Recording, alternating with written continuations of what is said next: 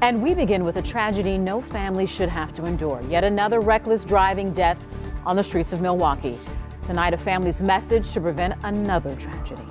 They are mourning a 26 year old man who died last week after losing control of his car. Jessica Maduker shares their message to anyone getting behind the wheel.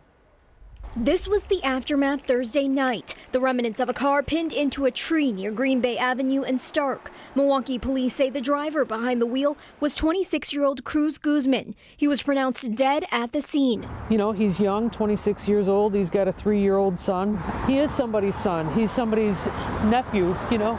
His family was told by witnesses that he was speeding before he lost control and crashed. Skid marks and shattered glass now lie next to candles and pictures on the median. It's so sad. He should be here. You know, I think all of us would give anything to have him back, you know, and especially over a driving incident. It's a tragedy the family would not wish upon anyone. No parent should ever have to bury their child, and no three year old boy should have to go on living without a father that loves him and, and wants to be there for him and care for him and and that's the saddest part. And his three year old son said to his mom the other day that my dad hit a tree and now he's in heaven.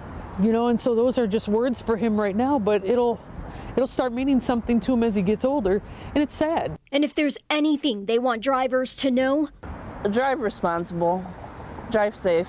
You know, take it easy. Remember, you've got people waiting for you. Those people you know, it, whether you get there two minutes later, at least you're getting there for them. And so don't don't let you know don't let this happen to you.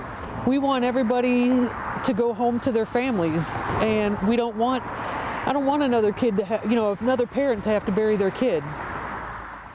The family has plans to hold a funeral on Wednesday for Cruz. They've created a GoFundMe page to help in covering some of those costs. For more information on how you can help, visit our website. For now, in Milwaukee, Jessica Maduker, TMJ4 News.